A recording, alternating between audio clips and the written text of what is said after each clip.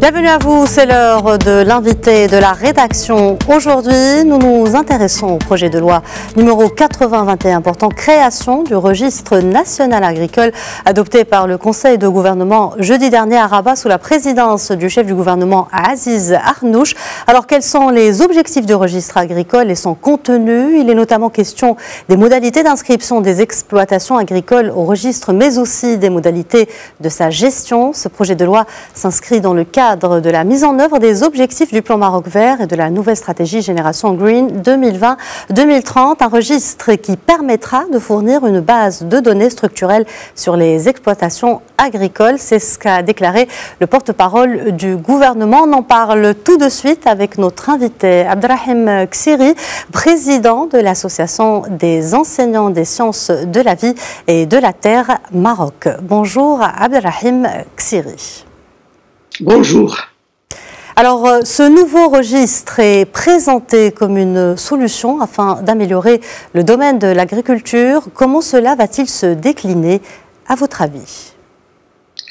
Oui, c'est sûr que ce registre, il y a eu un travail depuis 2015 et même avant pour préparer vraiment l'accompagnement du plan Maroc vert par cette, euh, ce système d'information pour avoir une base de données sur les exploitations et cette base de données est essentielle parce qu'on ne peut pas gouverner un secteur s'il n'y a pas d'informations claires sur le secteur qui permettent d'avoir des outils d'aide à la décision et donc, mais aussi de pilotage, de bonne gouvernance.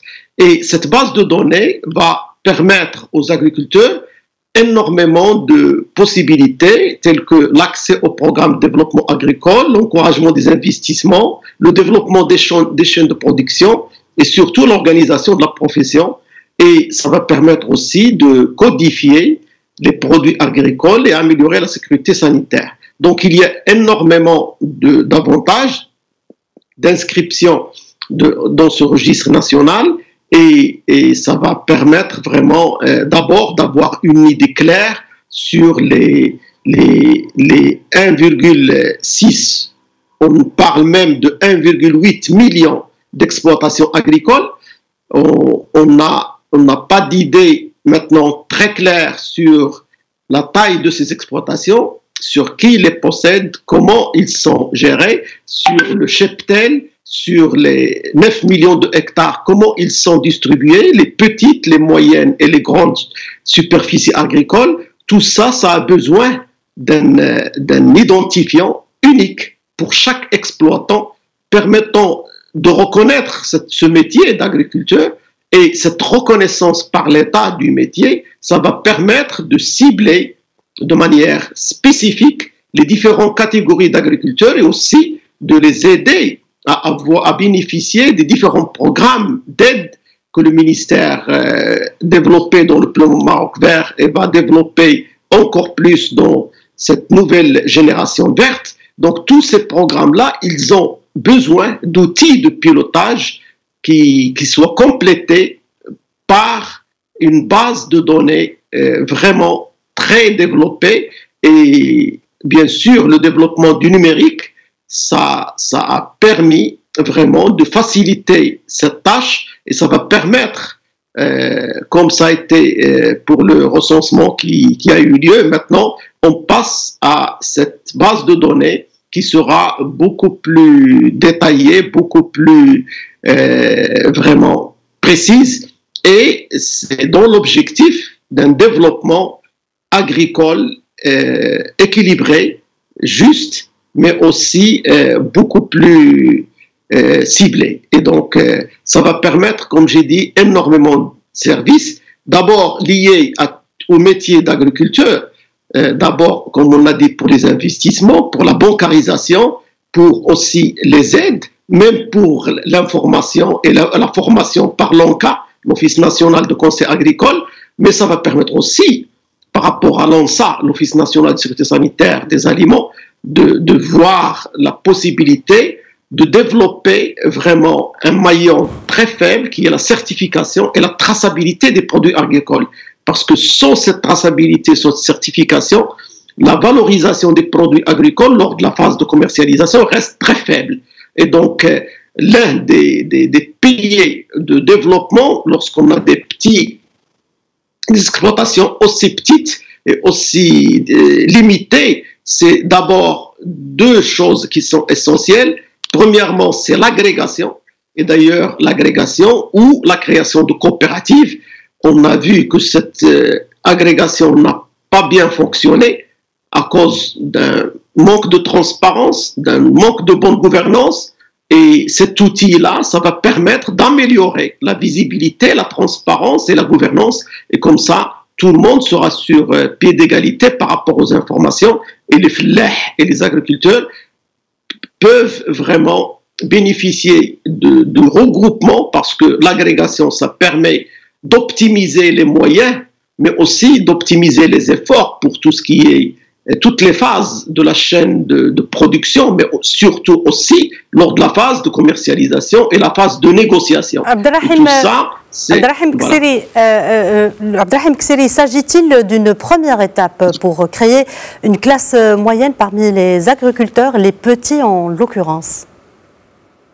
Oui, c'est sûr. C'est un, un moyen de ciblage. Comme j'ai dit, c'est pour les petits agriculteurs, pour les aider à avoir une certaine agrégation pour avoir les informations correctes sur leurs besoins, comment les accompagner, comment les cibler, comment les, soutenir et les aider. Parce qu'on avait des programmes, on avait des investissements, on avait des budgets, il y avait le pilier 1 et le pilier 2, mais c'était ceux qui arrivaient vraiment à avoir la capacité de demander et de, de, s'organiser et de pouvoir qui bénéficient de l'aide de l'État. Maintenant, avec le recours à ce système d'information euh, et, avec les, techniques euh, qui sont de plus en plus développées, des systèmes d'information, les sigles, les techniques de détection, la cartographie des exploitations, tout ça, ça va permettre une territorialisation des statistiques et ça va permettre premièrement aux petits de s'organiser, mais aussi la classe moyenne.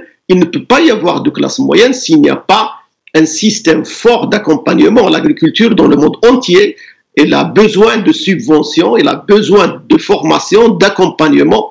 Et ceci se fait pour les, pays les plus développés où les superficies sont énormes et où l'aide de l'État est énorme et où les agriculteurs sont bien formés. Ils ont euh, une formation de base qui est assez élevée. Alors, dans les pays africains et le Maroc en particulier, le niveau de formation des agriculteurs est très limité. On connaît la vulnérabilité et la faiblesse de formation. On connaît aussi les superficies. Donc, on ne peut pas accéder à une vraie classe moyenne telle que Sa Majesté a appelé à la développer s'il n'y a pas de ciblage, d'accompagnement fort, mais aussi d'investissement dans les nouvelles technologies d'information parce que maintenant, on ne peut plus euh, agir uniquement sur la production, il faut agir sur toute la chaîne.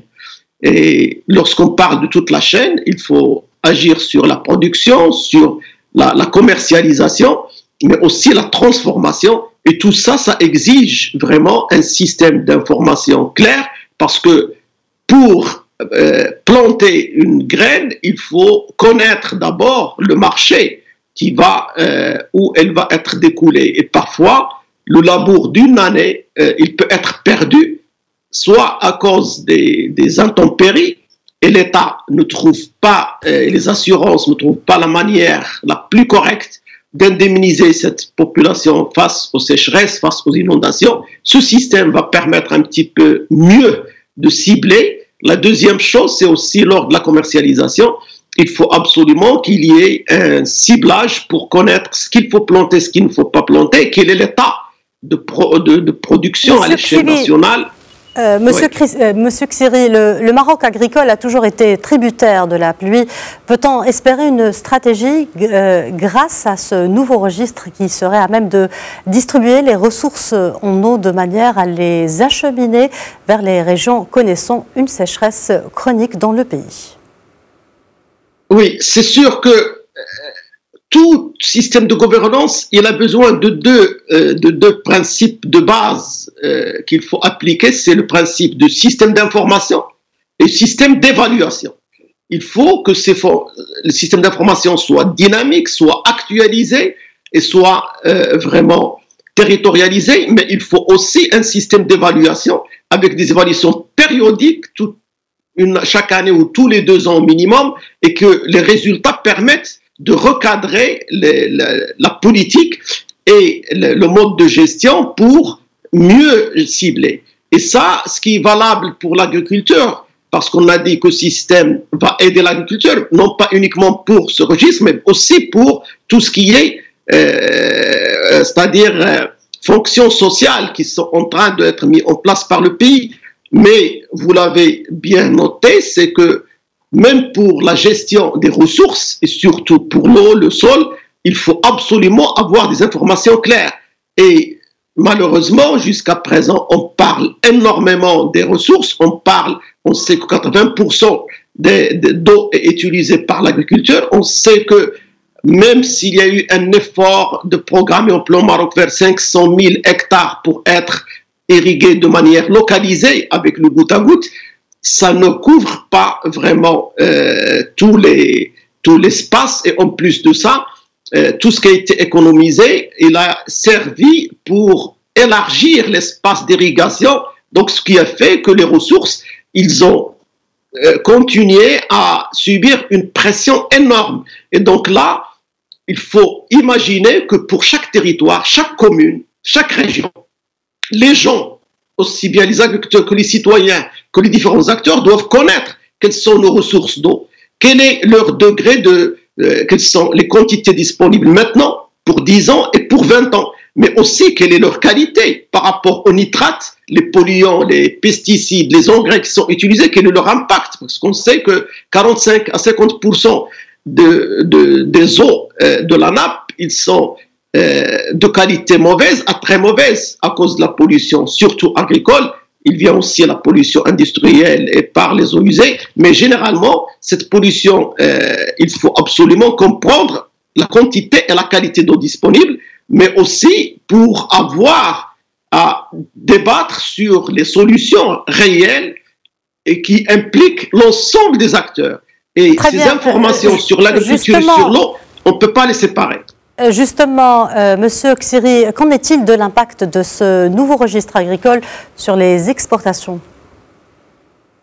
Oui, euh, l'un des grands problèmes du Maroc, c'est vraiment qu'on a l'exportation et les, et les conditionner par la traçabilité et la qualité des, des produits. Et cette traçabilité, cette qualité, jusqu'à présent, ce sont les grands agriculteurs qui ont les moyens, qui ont pu vraiment euh, profiter de cette valeur ajoutée de l'export. Avec ce système de traçabilité qui va renforcer les coopératives et l'agrégation, normalement, il doit aboutir à ce qui se passe aussi dans d'autres pays, que les petits agriculteurs qui sont groupés avec cet accompagnement de l'ONSA et avec la bonne traçabilité et la certification, ils peuvent accéder au marché extérieur et donc ils peuvent aussi avoir une grande valeur ajoutée lors de la phase de commercialisation de leurs produits. Et ceci, c'est vraiment ce qui est recherché parce que le Maroc, avec les petites parcelles, il peut facilement euh, avoir une agriculture bio euh, des produits terroirs de très bonne qualité. Il a la possibilité de, couvrir, par exemple, pour l'Union européenne, qui a fixé comme objectif 25% de produits bio qui doivent être commercialisés, le Maroc, il peut fournir cette bonne qualité. Au lieu de fournir des produits qui sont, euh, on sait ce qui s'est passé dans trois pays dernièrement, qui ont refoulé des produits à cause de la quantité de pesticides qui a été trop élevée. Donc il faut que le Maroc se positionne sur la bonne qualité parce que c'est là où il y a le meilleur prix, mais ça ne doit pas bénéficier uniquement aux grands agriculteurs qui sont limités dans le nombre, mais surtout aussi aux, chaînes de, de, de, de, valeur qui impliquent les petits agriculteurs qui sont, qui sont grâce à ce, ce registre, qui peuvent être beaucoup mieux organisés, bénéficier mieux des appuis de l'État, mais aussi avoir la traçabilité et la certification, la labellisation de leurs produits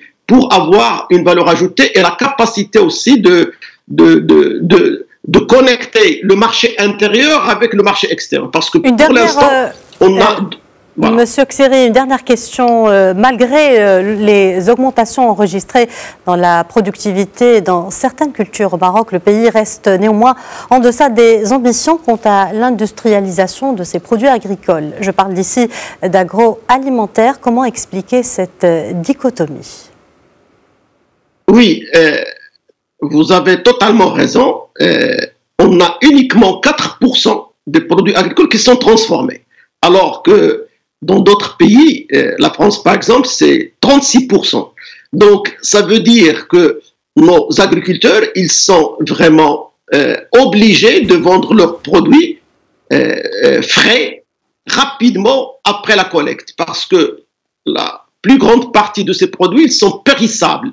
Et donc, ils ont une pression de temps et, normalement, les intermédiaires, ils, ils jouent sur cette, ça parce que ils attendent un petit peu que la phase de maturation soit avancée et l'agriculteur, il est obligé de vendre à n'importe quel prix, sinon il va perdre tout le, le, euh, tout le produit et les fruits de, de l'année. C'est pourquoi il faut absolument renforcer, développer la transformation. On le sait maintenant, pour faire cette transformation, il faut avoir des coopératives comme la COPAG qui, a très bien réussi, qui se positionne maintenant à l'échelle africaine.